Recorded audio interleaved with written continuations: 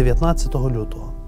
Церква у календаря сьогодні згадує преподобного Вукола, єпископа Смирнського, а також святого священомученика Сільвана, єпископа Ємейського і тих, що з ним.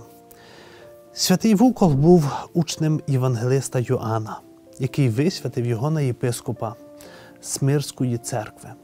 Святий Вукол, згідно з переданнями, висвятив на священника святого Полікарпа, а перед смертю призначив його своїм спадкоємцем на єпископство.